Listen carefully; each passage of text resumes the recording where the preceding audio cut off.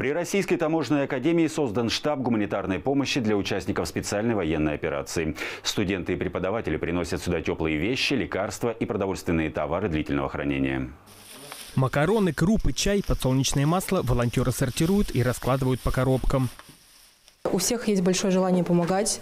Чаще всего приносят это консервы, какие-нибудь э, принадлежности личной гигиены, ну, то есть вещи самой первой необходимости. Кроме гуманитарной помощи, мобилизованным жителям и их семьям, преподаватели и студенты оказывают психологическую и консультативную помощь. У нас есть специальное подразделение, которое оказывает в том числе и юридическую помощь.